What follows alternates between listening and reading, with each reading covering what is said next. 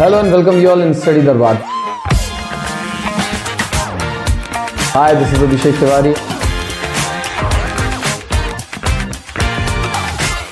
Hello guys welcome you all in our channel जहाँ पर आज हम कल जो एग्ज़ाम होना है एसएसटी का वहाँ पे लगभग 50 क्वेश्चन डिस्कस करेंगे which are very very important as far as our tomorrow's exam is concern and यहाँ पर 90 परसेंट चांसेस हैं कि इनमें से ही बहुत सारे क्वेश्चन आपके आ सकते हैं ये वो क्वेश्चन है which are repeated multiple times in the board examination अभी तक जितने भी बोर्ड एग्जामिनेशन हुए पिछले पाँच छः साल में, वहाँ पे जो क्वेश्चन सबसे ज़्यादा बार आए हैं, जिनकी फ्रीक्वेंसी सबसे ज़्यादा बार थी दे आर दीज क्वेश्चन ठीक है?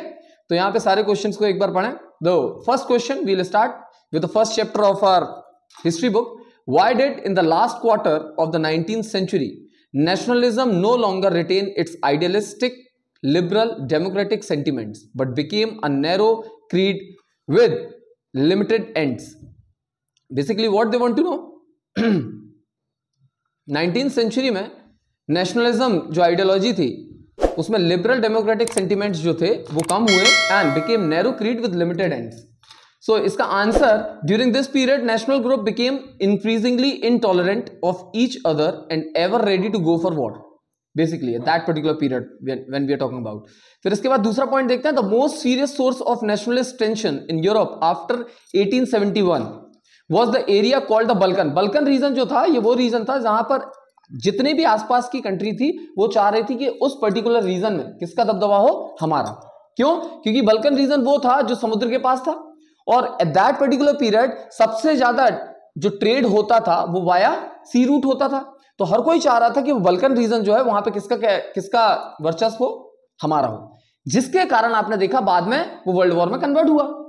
गेटिंग नेक्स्ट पॉइंट आता है how was next question how was the social and political situation of India affected by the first world war explain ये सेकेंड चैप्टर का क्वेश्चन है, जिसका नाम नेशनलिज्म इन इंडिया पूछ रहा है सोशल और पॉलिटिकल सिचुएशन भारत में कैसे इफ़ेक्ट हुई? When world first world war occurred first world war की डेट क्या है सबसे पहले? आप सबको पता होगी 1915 टू 1919 ये डेट हम मानते हैं।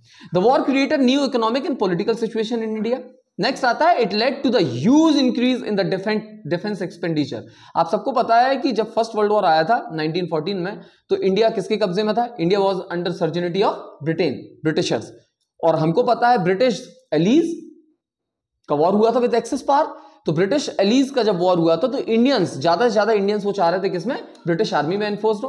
तो इंडिया का जितना भी पैसा था, जितना भी हमारे पास टैक्स या जिस भी फॉर्म में रेवेन्यू के फॉर्म में पैसा आ रहा था, वो सब कहाँ जा रहा था? एक्सपेंड खर्च हो रहा था डिफेंस में। फ़र्स्ट वर्ल्ड वॉर जब चल रहा था। Through the war years prices increase सारे आपने देखा वॉर के कारण क्या हुआ? Prices of each and everything was increase leading to the extreme hardship for the common people common people भाई उसके लिए अनाज क्या हो गया बहुत ज़्यादा महँगा हो गया था उसी समय पढ़ेंगे क्या फेमाइन भी आ गया था हमारे यहाँ फेमाइन आने के कारण क्या हुआ था अनाज कम है पैसा भी नहीं है तो वो महँगा से और महँगा हो गया Villages were called upon to supply soldiers and the forced recruitment in rural areas caused widespread anger. Crop failed in many parts of India resulting in acute storage of food. Next आता है how is the distribution pattern of the railway network this is from that chapter जो हमारा chapter अभी आ नहीं रहा तो इसको पढ़ने की ज़रूरत नहीं है। नेक्स्ट में आते हैं। Highlight the various measures and practices that French revolutionary introduced to create a sense of collective identity amongst the French people. ये किस चैप्टर से rise of nationalism in Europe history के जब आप चैप्टर पढ़ रहे हो, अगर आज की डेट में आप ये, इस स्थिति में कि हिस्ट्री मेरा रिवाइज नहीं हुआ है तो डू रिमेंबर आप दो चैप्टर सबसे अच्छे से करें। First is nationalism in India और दूसरा है rise of nationalism in Europe तीसरा अगर आपको करना है तो ग्लोबलाइजेशन वाला चैप्टर कर लेना। दो टॉपिक उसमें आ रहे हैं। प्रिंट कल्चर नहीं भी करोगे तो चलेगा। प्रिंट कल्चर में बस ये याद रखना, पहली प्रिंटिंग मशीन जो है, वो किसने बनाई थी, कहाँ पे बनी थी, उससे कौन सी बुक पब्लिश हुई थी, सबसे पहली जो प्रिंट हुई थी, ये सारी चीज़ें पढ़ लेना, क्योंकि एक नंबर में अगर क्वेश्चन आता है तो you can easily solve it fine तो highlight the various measures and practices that French revolutionary introduce to create sense of collective belonging sense of collective belonging क्या होता है? कि आपको ये फील हो कि आप एक ही पर्टिकुलर एरिया को बिलोंग करते हो। जब आपके मन में ये आने लगता है ना तो आपके अंदर क्या जनरेट होती है? नेशनलिज्म की फीलिंग जनरेट होती है। फिर आप क्या करते हो? अपने देश के लिए लड़ना स्टार्ट करते हो। चाहे वो झंडा हो, एलग्री हमने देखा था। एलग्री का मतलब समझते हैं? वही। The idea of the la patrie that is the fatherland and le citoyen मतलब होता है the citizen emphasis the notion of a united community enjoying equal rights under constitution second आता है न्यू फ्रेंच फ्लैग बन गया था, जो कि ट्राई कलर का था। नेक्स्ट आता है new hymns were compose oath taken and martyr commemorated ठीक है? हाइम्स मतलब समझते हो ना? जैसे एक तरीके के हमारे यहाँ क्या होते हैं? चेंट्स दोहे दोहे नहीं। स्लोक्स स्लोक्स को हम हाइम्स कहते हैं। Eternal custom duties that is internal custom duties and due were abolish an uniform system of weight and measures were adopted आपने पढ़ा होगा एक क्वेश्चन और बहुत ज़्यादा इंपॉर्टेंट है, इसमें है कि नहीं, मुझे नहीं पता अभी। लेट्स सी द पीपीटी लेकिन एक क्वेश्चन ज़रूर पढ़ लेना Napoleonic code the most important question from this particular chapter Napoleonic code को सिविल कोड भी कहते थे, लेकिन चूँकि वो नेपोलियन ने इंट्रोड्यूस किया था Napoleon was very famous personality हम इस चैप्टर को पढ़ रहे हैं, जो हम वर्ल्ड हिस्ट्री की बात करते हैं तो नेपोलियन ने कोड ज़रूर पढ़ लेना, वहीं पे आएगा ये, ठीक है? और किसने किया था? कस्टम ड्यूटी कस्टम यूनियन का नाम क्या था? जोल्वरीन याद रखना। क्या नाम था? जोल्वरीन एक नंबर में ये भी आ सकता है। Now regional dialects were discourage and French became the common language of the nation ठीक है? वहाँ की लैंग्वेज क्या हो गई थी फ्रेंच इसके अलावा आपने देखा होगा, जो जो जोल्वरीन था, उसने एक और चीज़ क्या की थी? 28 वहाँ पर क्या थी? करेंसीज थी। जिसको एबोलिश करके उसने दो करेंसीज में कन्वर्ट कर दिया था। समझ आ रहा है? एक देश में जितनी कम करेंसी है, वो ज़्यादा अच्छा है। एक ही हो तो बेस्ट है, लेकिन वहाँ पे उस समय 28 से दो करना भी बहुत बड़ा एडवांटेज था उस कंट्री के लिए। Next question what do we need या why do we need to expand formal source of credit in India explain अब सबसे पहले आता है मनी एंड क्रेडिट का क्वेश्चन है। फॉर्मल सोर्स ऑफ़ क्रेडिट अगर आपको फॉर्मल सोर्स ऑफ़ क्रेडिट पढ़ना है तो उसके पहले पता होना चाहिए कि डिफरेंस क्या होता है। What are the types of credit in India तो क्रेडिट के कितने टाइप होते हैं? दो टाइप होते हैं। एक होता है फॉर्मल एक होता है इनफॉर्मल इनफॉर्मल जो आप देखते हो काका मुनीम जो होता है जैसे हम लाला कह दे, कह देते हैं। अगर आपने एक मूवी देखी होगी मदर टेरेसा तो उसमें एक लाला नाम का बहुत कठिन इंसान था ठीक है? वो लोग क्या करते हैं? या एक माला माल वीकली नाम की मूवी देखी होगी तो उसमें जिज्जी होती है ठीक है? तो उस लोग क्या करते हैं, पूरे गाँव में लोगों का क्या करता है, जितनी की जितनी ज़मीन है, वो लोग गिरवी रखते हैं, अपना सोना, जवाहरात, ये सारी चीज़ गिरवी रखते हैं, जिसके बदले वो उनको कुछ पैसा देते हैं। वो पैसा इंसान चुका नहीं पाएगा कभी। क्यों नहीं चुका पाएगा? क्योंकि उसका रेट ऑफ़ इंटरेस्ट इतना होता है कि बैंक वालों तक को नहीं पता होता है। मतलब we haven't studied C I S I से बहुत परे। और जब आप पैसा नहीं दे पाओगे तो आप क्या करोगे? ज़मीन और उनकी चीज़ें सब उन्हीं को दे देते हो। इसके अलावा क्या करोगे? आप वो पैसा चुकाने के लिए दूसरा लोन लोगे। फिर दूसरा चुकाने के लिए तीसरा लोगे, तीसरा चुकाने के लिए चौथा लोगे, ऐसे आप क्या करोगे? एक जाल में फंस जाओगे। उस जाल को हम क्या कहते हैं? डेप ट्रैप इन चीज़ों से बचना है तो गवर्नमेंट क्या करती है? फॉर्मल क्रेडिट देती है। The system of formal credit या फॉर्मल सोर्सेज ऑफ़ क्रेडिट क्या होता है ये? Formal sources of credit basically होता है जब गवर्नमेंट खुद के इंस्टीट्यूशन बनाती है और आपको लोन प्रोवाइड करती है। इन रिटर्न ऑफ़ वॉट आपको सिक्योरिटी के फॉर्म में आपको क्या देना होता है? Collateral what is collateral collateral एक ऐसी चीज़ होती है जो आपकी होती है, जिसको बेच के गवर्नमेंट वो पैसा वापस ले ले। गवर्नमेंट मतलब विच एवर इंस्टीट्यूट जहाँ से आपने लोन लिया है। लेट से बैंक तो वो लोन के लिए कोलेट्रल मतलब कोलेट्रल ज़रूरी है ना यार? किसी को भी थोड़ी दे देंगे, आओ मुँह उठाओ और आ गए। लोन दे दो। ऐसे कैसे दे दो? Please provide me something so that I can provide you the loan तो कोलेट्रल एक ऐसी चीज़ होती है। सो इसकी बहुत ज़्यादा ज़रूरत है, लेकिन बैंक में लोग अक्सर इसलिए नहीं जाते because there are very formal things जैसे नाम ही है। पेपर वर्क बहुत होता है, और बेचारे जो गाँव में रहने वाले लोग हैं, वो डरते हैं पेपर वर्क से। मेरी ज़मीन ही मेरे अपने नाम पर ना करवा लें एंड मेनी मोर थिंग तो इसके लिए किसान क्रेडिट कार्ड आपने सुना होगा, एक बार पेपर वर्क करो इट्स वेरी इजी प्रोसेस और इजीली आपको क्या मिलेगा? लोन मिलेगा, हर साल दो लाख उसकी शायद लिमिट है, अब बढ़ के पाँच लाख हो गई होगी। हो गई है शायद। ठीक है? अपार्ट फ्रॉम दैट आपने देखा मोबाइल बैंकिंग चालू हो गई है। मोबाइल बैंकिंग से मेरा मतलब मोबाइल बैंकिंग नहीं है। मोबाइल बैंकिंग से मतलब है मोबाइल एटीएम जैसे। गाड़ी एक जैसे दूसरी जगह ट्रेवल करती है, उसमें इजीली पैसे आप निकाल सकते हो, रख सकते हो। ठीक है? यही सारी चीज़ें लिखी हैं। पढ़ लें आप इसको। नेक्स्ट आता है आपका democracy is based on the idea of deliberation and negotiation examine the statement ये पर्टिकुलर क्वेश्चन जो है आउटकम ऑफ़ डेमोक्रेसी का है।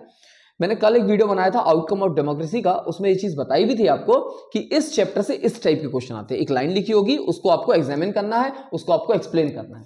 ठीक है? तो उसका एक्सप्लेनेशन देख लेते हैं। Democracy is based on the idea of deliberation and negotiation but obvious है। Democracy gives importance to deliberation and public opinion democracy में ही पब्लिक ओपिनियन लिए जाते हैं ना? आपकी बातें होती है, आपको अगर कुछ प्रॉब्लम है you can put your points there in front of the people people कौन है? Representator of the government representator of the government कौन है? MPs and MLAs the democratic government will take more time to follow procedure before arriving at the decision इसलिए democratic government जो होती है, वो decision taking जो उसकी पावर होती है, वो बहुत डिले होती है, बहुत लेट होती है. लेकिन जो डिसीज़न होता है, वो सबको देख के बनता है, जिसमें क्या होता है? मिनिमम लोगों के लिए प्रॉब्लम होगी, लेकिन मैक्सिमम लोगों के लिए फ़ायदा होगा. और प्रॉब्लम मिनिमम मतलब ना के बराबर लोगों के लिए होती है। ठीक है? इट्स डिसीज़न में be both more acceptable to the people और मोर इफ़ेक्टिव मोर एक्सेप्टेबल मतलब ज़्यादातर लोग उसको क्या करेंगे? फॉलो करेंगे या ज़्यादातर लोग उससे इफ़ेक्ट होंगे। ठीक है? अगर गलत होगा तो मास मोबिलाइजेशन होता है। जैसे आपने देखा धरना, जैसे अभी आपने फार्म बिल लास्ट ईयर देखा होगा फार्म बिल लोगों को पसंद नहीं आया तो लोगों ने क्या किया? मास मोबिलाइजेशन किया। Finally that bill is removed तो डेमोक्रेसी में ये फ़ायदा है। डिक्टेटरशिप में ये नहीं होता। Democracy ensure that decision making will based on norms and procedure कुछ भी नहीं कर लोगे whatever norms are there in our constitution accordingly ये सारी चीज़ें होंगी transparency as person have the right and means to examine the process of decision making next आता है it follows procedure and it accountable it is accountable to the people whatever government is doing they are accountable to the people accountable मतलब answerable to the people आप जो भी चीज़ करते हो आपको बताना होता है लोगों को जिनने आपको जिताया है अगर नहीं बताओगे, गलत काम करोगे, पाँच साल तक तो आप रह लोगे, पाँच साल के बाद फिर आपका एग्ज़ाम होगा। उस एग्ज़ाम को हम क्या कहते हैं? इलेक्शन जो कि अभी है, अगले महीने त्यौहार है तो उसी में इनका पता चल जाएगा कि आपको रखना है या नहीं रखना है।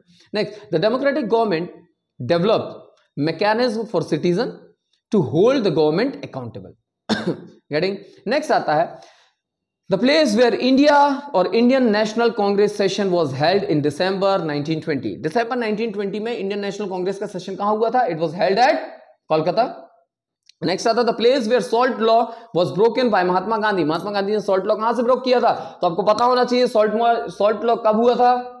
19 कब हुआ था? 1930 ठीक है, कहाँ से कहाँ तक हुआ था?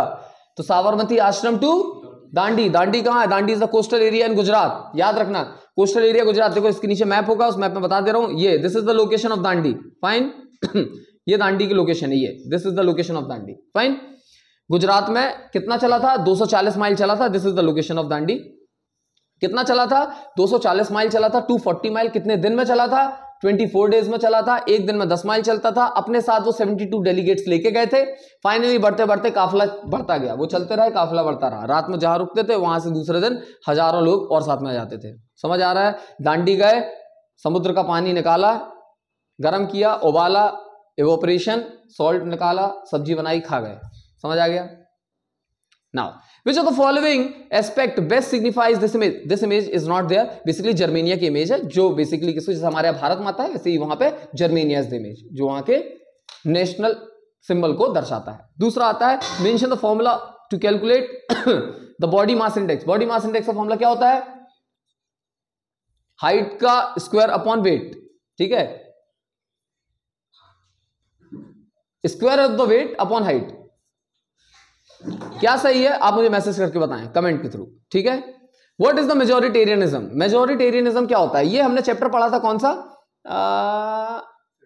पावर शेयरिंग पावर शेयरिंग में जो हमारा सेकेंड टॉपिक था दैट वॉज़ श्रीलंका की जब हमने बात की थी।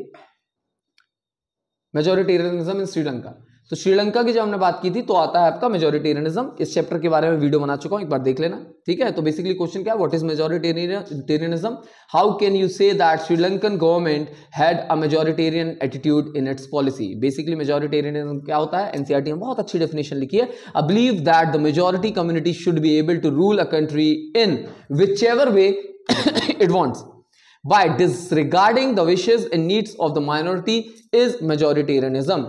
उस पर्टिकुलर देश में जो मेजोरिटी पीपल रहते हैं, उनको जिस तरीके से देश की गवर्नमेंट चलानी है, वो चलाएँ।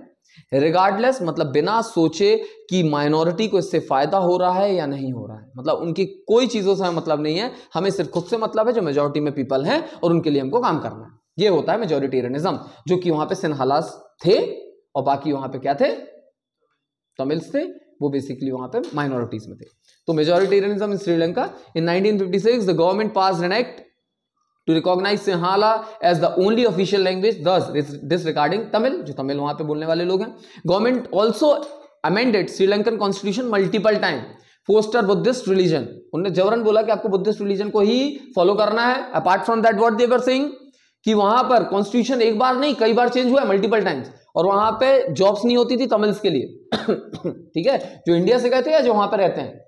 जो सिन्हाला पीपल हैं they were only allowed to take part in the government vacancies और वहीं पे उनको जॉब मिलती थी। ठीक है? Sinhala speaking candidates were given preference for job at universities and other places next question what are institutional reform institutional reform से मतलब क्या है?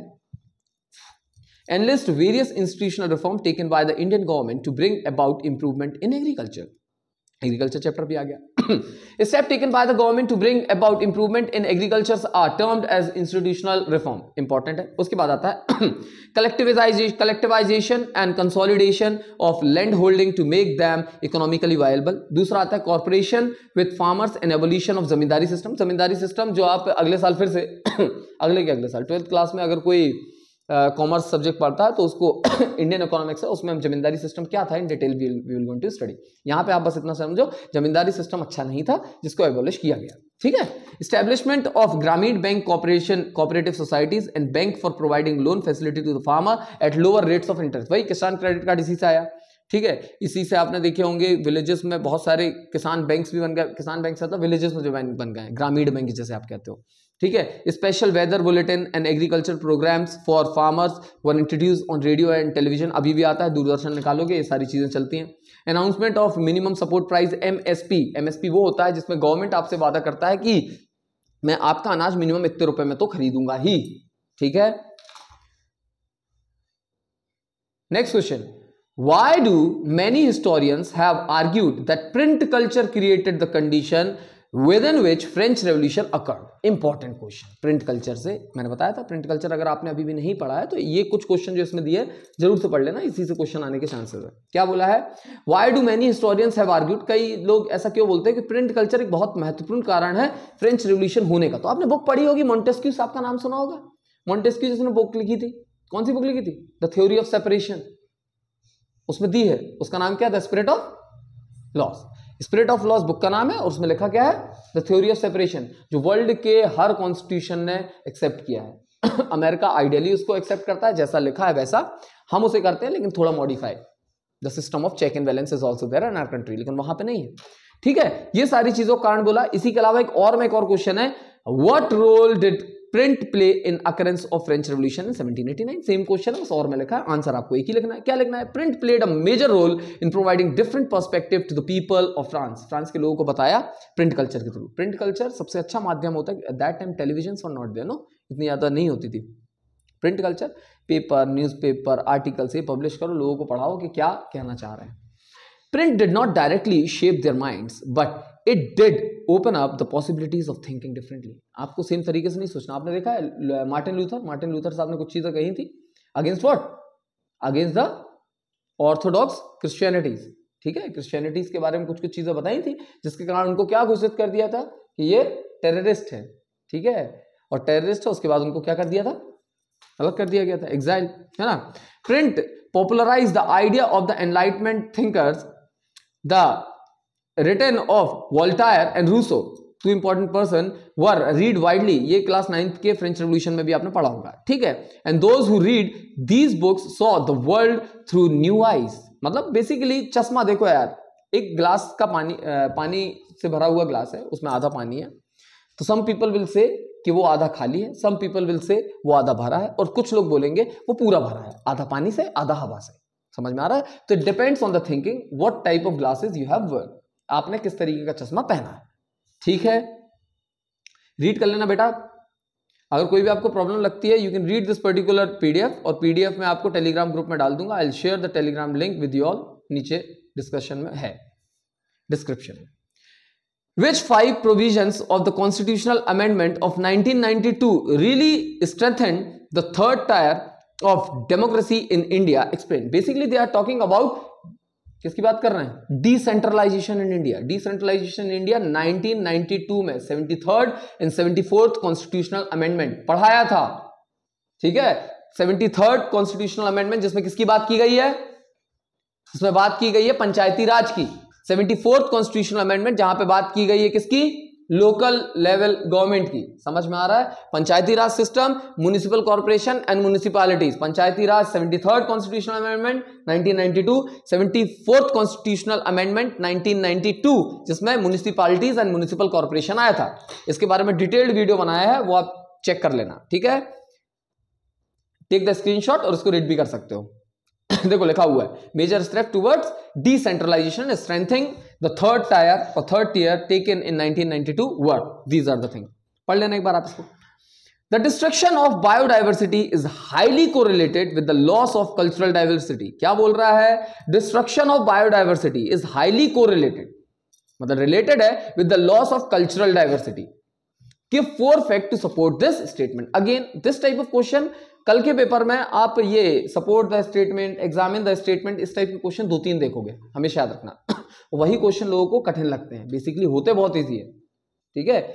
और एक दूसरी चीज़ बता रहा हूँ whatever answer you will going to write write it in points SST के पेपर में आप पॉइंट में आंसर लिखेंगे। मैंने जितने भी आपको ये पीपीटी में, जितने भी आपको आंसर दिख रहे होंगे दे आर इन पॉइंट्स अगर आपको रीड करने का टाइम है अभी भी तो इनको रीड कर लेना। आपको अगर एक बार ग्लैंस करना है सिर्फ़ रिवाइज करना है रीड दिस पर्टिकुलर पीपीटी ठीक है?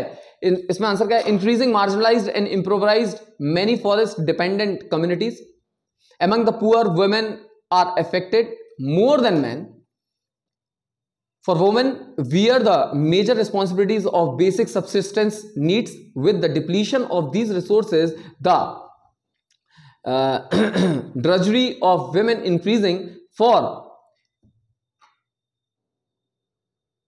एक मिनट question.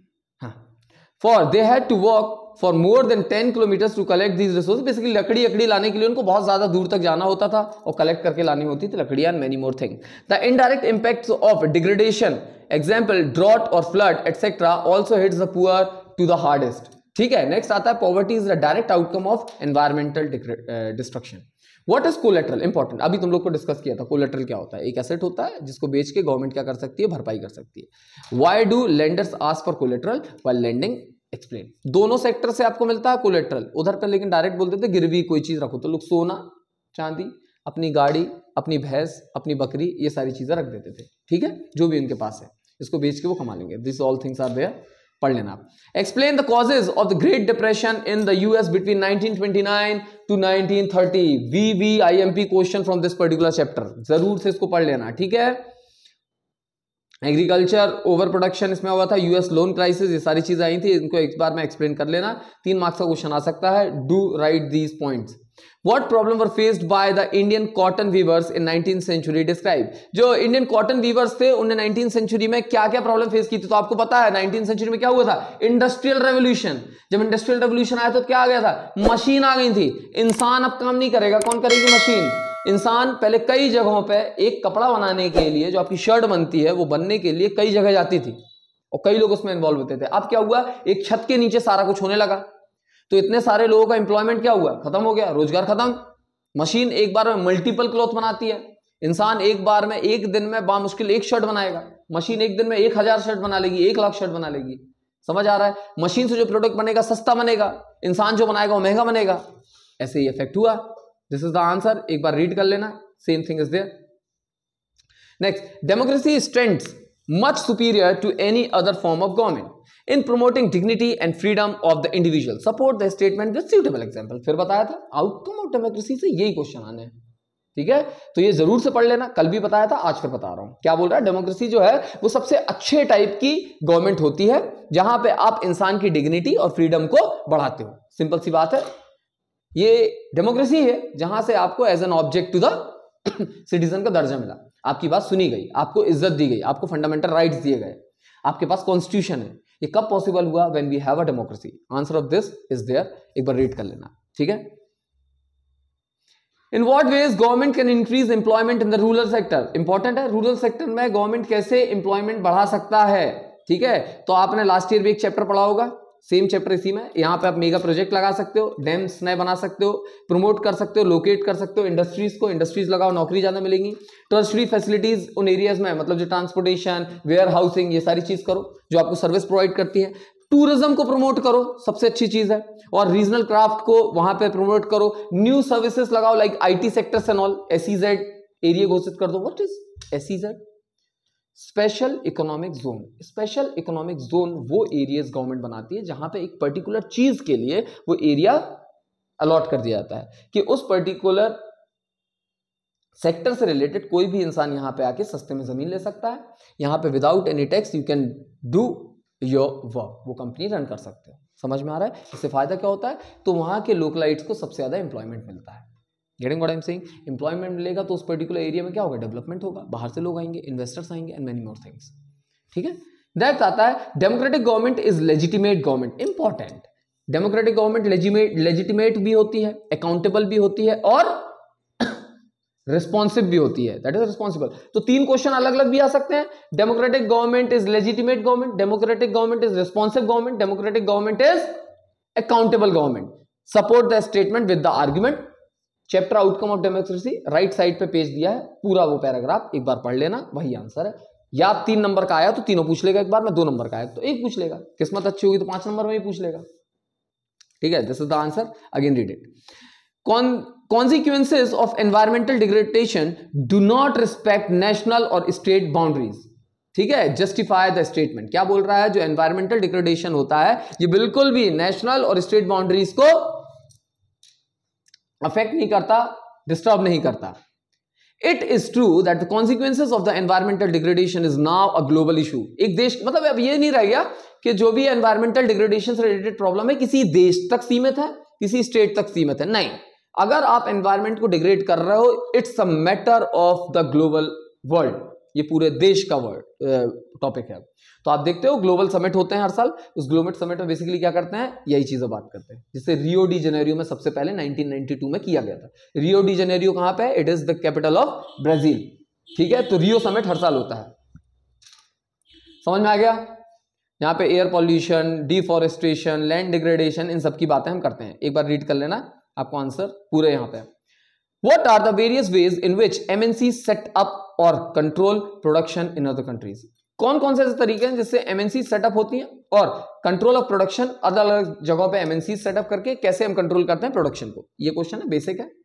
तो मल्टीनेशनल कॉर्पोरेशन एमएनसी का फुल फॉर्म होता है सेटअप देयर फैक्ट्रीज और production unit close to market where they can get desired type of skilled and unskilled labor at low cost along with the factors of production. This is the thing जहाँ पे आपको पता होता है कि industries कहाँ पे लोकेटेड हो, ये सारी चीज़ें वहाँ पे होनी चाहिए। After insuring these particular condition of MNC setup for setup different production unit in following this by buying local companies of an area उस पर्टिकुलर जैसे इंडिया में कोई कंपनी आई लेट्स से कोई डिजिटल मार्केटिंग कंपनी है या कोई digital platform आया, नया ओ टी टी आया तो उन्होंने क्या किया? जियो एट प्रेजेंट बूम पे है तो जियो के साथ उन्होंने क्या किया? टैग कर लिया। एक कंपनी के साथ वो आ गए, ठीक है? या उसको खरीद लिया, कोई छोटी है तो। By making partnership with the owner of the local companies वही जियो के साथ या तो कर लिया। उसके बाद by investing in local companies to encourage the production of foreign product in any country किसी भी देश में उस कंट्री का शेयर था। जैसे इंडिया में सुजुकी ने क्या किया? पैसा इन्वेस्ट किया। अब बाहर से सुजुकी कंपनी भी हमारे यहाँ क्या आ रही है? बिक रही है। समझ आ रहा है? ग्लोबलाइजेशन नाउ आता है study the picture given below and answer the question that follows ये आपको झंडा दिख रहा है? वंदे मातरम बीच में लिखा है। In the flag what does the lotus and the crescent moon represent जो क्रेसेंट मून दिख रहा है लोटस दिख रहा है, क्या रिप्रेजेंट करता है? During this during which freedom movement was the flag design इसका आंसर देना, इसका आंसर चैप्टर नंबर तुम लोग को बता दे रहा हूँ second chapter of history answer आप लोग दें कमेंट सेक्शन में. ठीक है? आंसर यहाँ पे दिया हुआ है, पहले ना देखें पहले आप कोशिश करें कि आप खुद दर्शाएँ, ठीक है? जो कमल है, वो आठ प्रोविंसेस को दर्शा रहे हैं। जो आपका मून है क्रेसेंट वो आपको हिंदू और मुस्लिम को दर्शाता है। हिंदुज़म में भी इसकी पूजा होती है, मुस्लिम के फ्लैग में आपने देखा होगा, होता है। द फ्लैग ये डिज़ाइन किया गया था, जब स्वदेशी मूवमेंट हुआ था बंगाल में, तब हुआ था ठीक है? कौन सा मूवमेंट स्वदेशी मूवमेंट कब हुआ था स्वदेशी मूवमेंट जब इंडिया और बंगाल के दो टुकड़े कर रहे थे East Bengal and West Bengal what is dynastic succession this is important again from the same chapter outcome of democracy क्या क्या प्रॉब्लम आती है? पॉलिटिकल पार्टी वही है। डायनेस्टिक सक्सेशन जो पिता का बेटा ही क्या बनेगा या बेटी ही बनेगी कि उस पर्टिकुलर पॉलिटिकल पार्टी की लीडर अध्यक्ष। ये कहलाता है डायनेस्टिक सक्सेशन मतलब उन्हीं की बात सुनी जाए। जैसे at present we have one of the political party अब उसमें अलग कर दिया, खड़गे साहब को बना दिया। लेकिन पहले अगर देखें तो पूरा का पूरा गांधी परिवार चला आ रहा था। अब हमने खड़गे देख लिया, वहीं पर चले जाओ सपा, समाजवादी पार्टी। पिता मुलायम सिंह, फिर बेटा आ गया। तो चलता है, ठीक है? ऐसा, ये सब नहीं होना चाहिए। How it is a problem for democracy suggest one method to solve the problem ये सारी इंटरनल डेमोक्रेसी आप बढ़ा दो। Within the political party वहाँ से प्रॉब्लम हट जाएगी। इसके बारे में भी कल मैंने वीडियो बनाया था। Do was that particular video उसमें आपको डिटेल समझ आ जाएगी। ये इसका आंसर भी है। स्क्रीनशॉट ले लो, देख लो। Why did Gandhi ji choose salt as the symbol of his civil disobedience movement civil disobedience movement start हुआ था with the salt march salt march में उन्होंने नमक ही क्यों लिया था? तो मैं आपको बता चुका हूँ कई बार, नमक इसलिए लिया था, चाहे रईस हो, चाहे गरीब हो, चाहे हिंदू हो, चाहे मुस्लिम हो, चाहे सिख हो, चाहे ईसाई हो, ठीक है? चाहे लड़का हो, चाहे लड़की हो, whosoever is the person salt is the basic need for that particular person इसलिए नमक को लिया गया था। और नमक उनने जब लिया था, उसके पहले उन्होंने एक लाइन और कही थी, उनकी ऑटोबायोग्राफी में लिया, लिखा है और हिस्ट्री कई सारी बुक में लिखा है कि मैं बालू उठाया था, बालू मतलब रेत, और उठा के बोला था कि मैं एक मुट्ठी बालू से पूरे ब्रिटिश साम्राज्य को अलग कर सकता हूँ, या ब्रिटिश साम्राज्य का पतन कर सकता हूँ। ये महात्मा गांधी जी ने कहा था। और नमक, फिर उसके बाद उठा लिया था हमने। गांधी जी हीरो तो थे क्यों? ठीक है। देर आर डिफरेंट पर्सपेक्टिव जन श्रुतियों पर ना अगर बुक पढ़ोगे तो आपको पता चलेगा अबाउट गांधी। मैं किसी पॉलिटिकल पार्टी को सपोर्ट नहीं कर रहा हूँ, लेकिन whatever I am saying Gandhi is respected because of something कुछ थे दैट्स वाई रिस्पेक्ट करते हैं तो किसी की बात सुन के ना करें। ठीक है? Dislike like it's up to you but do watch one book मैं आपको बताऊँगा, उस बुक को ज़रूर पढ़ें। उस बुक का नाम है एक्सपेरिमेंटल विथ ट्रुथ ये गांधी जी की आत्मकथा है, ज़रूर पढ़ें। उन्होंने खुद लिखा है कि उनके साथ क्या क्या हुआ। कोई इंसान नहीं लिखता कि उनको उल्टा करके पीछे से लात मार के ट्रेन से गिराई, या कहीं पे आपको मारा है। He himself written this particular thing in his book इतना बड़ा आदमी अगर ये लिख रहा है, कुछ रहा होगा। ठीक है, पढ़ना एक बार। What was Gandhi Irwin pact Gandhi और इरविन के बीच में एक पैक्ट हुआ था, वो पैक्ट क्या है? वेन वॉज़ इट साइन कब साइन हुआ था? पैक्ट बेसिकली क्या था? इनने जो अपनी डिमांड की थी, कितनी डिमांड की थी? सात सूत्री डिमांड थी ग्यारह सूत्री डिमांड थी? ग्यारह सूत्री डिमांड थी, सात सूत्री डिमांड ग्यारह सूत्री डिमांड थी तो ग्यारह उन्होंने बताए थे ये पॉइंट नहीं मान रहे थे, गांधी जी बोल रहे थे अनशन करेंगे। अनशन करेंगे, अगर चले जाएँगे ऊपर तो दिक्कत क्या होगी? पूरा देश क्रोधित हो जाएगा। उसे बचाने के लिए अरविंद साहब ने उनको बोल दिया, धीरे से आगे, क्या? भैया, तुम जाओ ब्रिटेन और वहाँ पे राउंड टेबल कॉन्फ्रेंस हो रही है। जाके बात करो अपनी पार्लियामेंट में। इनकी सुनी नहीं, पहले में कोई नहीं गया, दूसरे में सब लोगों ने मना किया, मत जाओ मत जाओ मत जाओ। सब लोग से मेरा मतलब क्या है? आईएनसी के मेंबर्स हैं। चले गए। किसी ने सुनी नहीं, आ गए। सबने हो गया। समझ में आ रहा है? Gandhi Irwin pact when what is sign बता देना। Or the civil disobedience movement was different from the non uh, non cooperation movement support the statement. बता देना ठीक है बेसिकली सिविल डिसोबेड मूवमेंट के पहले ही गांधी इरविन पैक्ट हुआ था फिर सिविल डिसोबेड मूवमेंट दोबारा से लॉन्च किया जो कि फेल हो गया। तो पूछते हैं question why the civil disobedience movement was failed when it was launched second time Gandhi ji ने जो वादे किए थे पूरे नहीं किए और बंद कर दिया था। तो उसमें बहुत सारे लोगों को प्रॉब्लम हुई। These are the question these are the differentiation जो आपको दिया नॉन कॉपरेशन मूवमेंट और सिविल डिस्ट्रीब्यूमेंट मूवमेंट के बीच में डिफरेंस क्या है। इंपॉर्टेंट है, पढ़ लेना। नेक्स्ट आता है।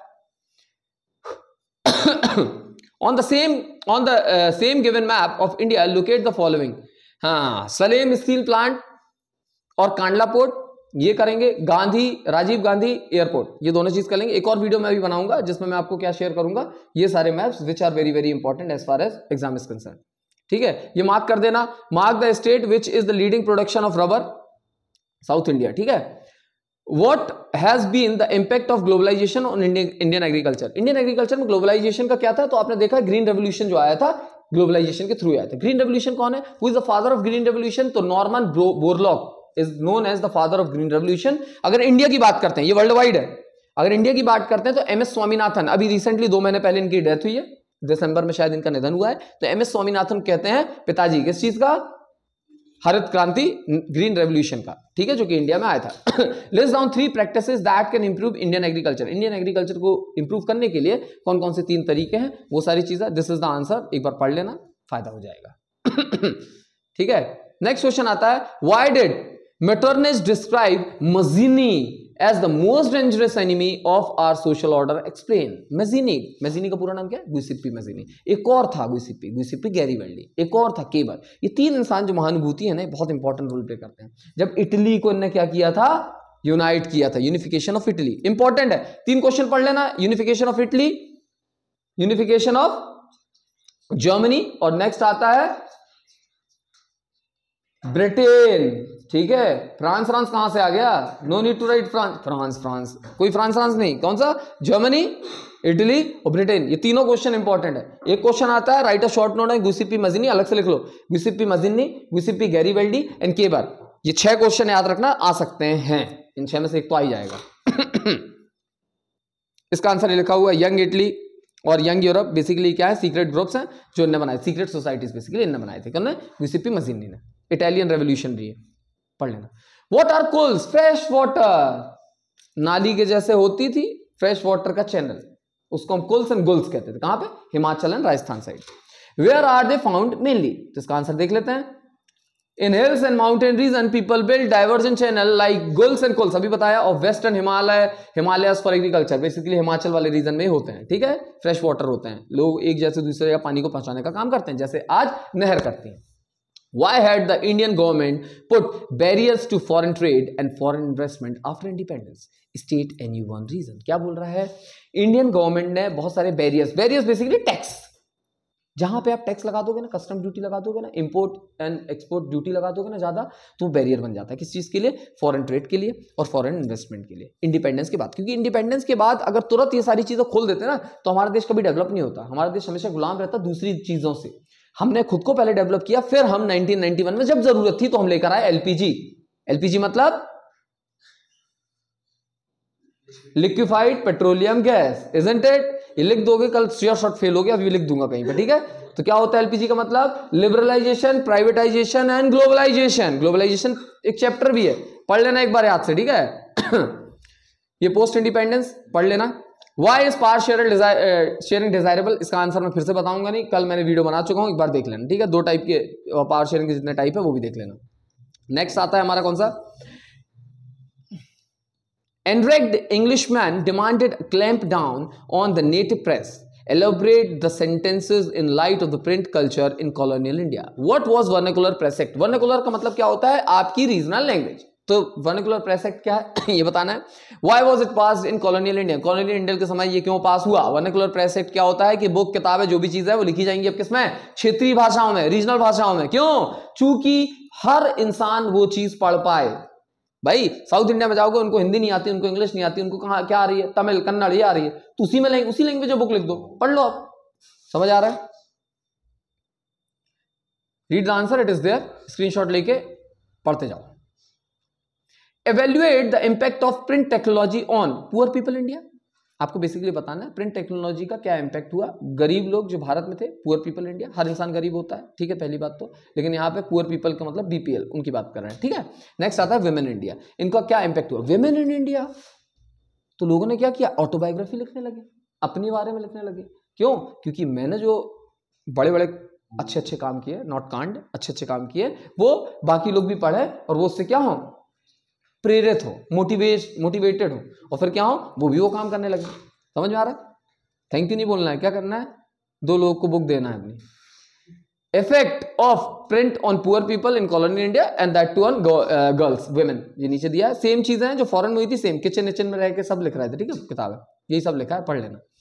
Advancement of international trade of a country is an index to its economic prosperity explain how क्या बोल रहा है? Advancement of international trade international trade अगर किसी देश का बहुत ज़्यादा बढ़ जाता है तो बेसिकली वो क्या कर रहा है? आपके देश की इकोनॉमिक प्रोस्पेरिटी मतलब आपके देश में जो इकोनॉमिक कंडीशन है, उसको बहुत ज़्यादा प्रोस्पस कर रहा है, बढ़ा रहा है।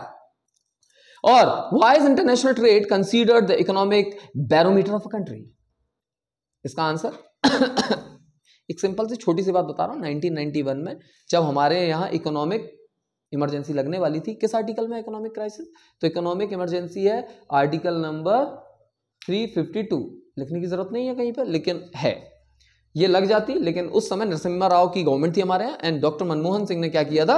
एक नया बिल पास किया था, जो एलपीजी बोलते हैं, जिसके कारण जिसे हम न्यू इकोनॉमिक पॉलिसी भी कहते हैं। उसके बाद हमारा देश ये जो इमरजेंसी लगनी थी, इससे बच गया था। दीज आर द पॉइंट्स एक बार रीड कर लेना। How did close relationship develop between the town and the countryside during the 19th century? 19th century में जो रिलेशनशिप था टाउन्स एंड कंट्री साइड कैसे बहुत ज़्यादा अच्छा हो गया? बॉन्ड बन गई। कैसे? From the town in Europe begin to move countryside जाने लगे? In seventeen and eighteen century because of trade guild guild क्या होता है? ट्रेड गिल्ड मतलब ग्रुप ऑफ़ पीपल कम्युनिटीज जो क्या करते हैं? ग्रुप बना लेते हैं। ये कौन होते हैं? मर्चेंट्स होते हैं। ये कौन होते हैं? ट्रेडर्स होते हैं। तुम क्या बोल रहे हो? पैसा। कुछ भी। ठीक है? Trade guild that restricted the entry of new people into the trade peasants in countryside started working for these merchants बहुत सारे जो पीजेंट्स होते थे, वो इन लोगों के लिए काम करने लगे कि उनको पैसा मिलेगा। वहाँ खेती में तो कुछ मिल नहीं रहा है। यहाँ ट्रेड करो, पैसा मिलेगा। तो ये करने लगे। नेक्स्ट क्वेश्चन आंसर आप दोगे। When France sneezes the rest of Europe catches cold important है। इस स्टेटमेंट को लोग एक्सप्लेन करने भी बोल देते हैं। आंसर बताओ। Who the following set this line Giuseppe Mazzini Metternich Otto von Bismarck Giuseppe Garibaldi ठीक है? ठीक है? आंसर क्या है? पता है? Metternich which of the following which of the following is not true about our Indian language policy इनमें से कौन सी चीज़ सही नहीं है? इंडियन लैंग्वेज पॉलिसी की। Hindi is our national language बिल्कुल नहीं है। लोग आपको धूर्त बनाते हैं मतलब धूर्त मतलब बेवकूफ़ बनाते हैं, अगर बोलते हैं India is our national language Bharat एक ऐसा देश है जिसकी कोई नेशनल लैंग्वेज नहीं है। Hindi is our official language समझ आ रहा है? Both Hindi and English are our official language yes true India has 21 scheduled languages 22 scheduled languages इसका आंसर ओनली बी है। ए सी इज़ रॉन्ग ठीक है? जो नीचे वाला दिया वो गलत है। Only B is the answer और आंसर इज़ नॉट ट्रू तो answer is both A and C sorry अगर क्वेश्चन होता कि कौन सा सही है तो बी बस सही है। अगर आपसे पूछता कौन सा गलत नहीं, गलत है तो both A and C are wrong हमेशा याद रखो, जैसे मैंने यहाँ पे गलती की, आप हमेशा याद रखें, जब क्वेश्चन पढ़ते हो तो नोट को अंडरलाइन कर ले। आपसे एग्जामिनर बोलेगा, कुछ मत गोदो, गोद देना। ठीक है? वो ये नहीं भरेगा। इतना बस गोद ना, ये नहीं उसी में आंसर लिख दिया। माँ साहब ने बोला था कल। क्यों? कुछ नहीं होता। हो जाता है। आप क्या करोगे? सिर्फ़ नोट को अंडरलाइन कर लेना है सर्कल कर लेना है। ठीक है? दूसरा इंपॉर्टेंट चीज़, मैं देखता हूँ बहुत सारे बच्चे अभी भी ब्लैक पेन से लिख रहे हैं। मत लिखो। तुम अपना फ्यूचर काला कर रहे हो, ठीक है? तो काला मत लिखो। आपको कौन सा पेन यूज़ करना है? You only have to use Neela pen नीली स्याही। नीला कलर का पेन ब्लू ब्लू ब्लू ठीक है? और लाल से तो कतई नहीं करना। कई महानुभूति हरा ले आते हैं। अभी से प्रिंसिपल बनना है क्या? Who said the printing press is the most powerful engine of progress and public opinion is the force that will sweep despotism away इसका आंसर बताएँ, क्या होगा?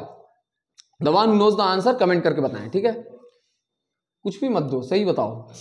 I am a political party I am a political party which was formed after a split from Indian National Congress and I don't believe in dynastic succession identify me क्या बोल रहा है? मैं एक पॉलिटिकल पार्टी हूँ, जो Indian national Congress से split हुई थी। मेरे अंदर कोई भी डायनेस्टिक सक्सेशन जैसी चीज़ नहीं है। तो इनमें से कौन सी वो पार्टी है जिसने ये सारी चीज़ें कही थी? तो आप इसका आंसर देंगे। जो भी आंसर है कमेंट करके बताओ। ठीक है? Choose the correct option I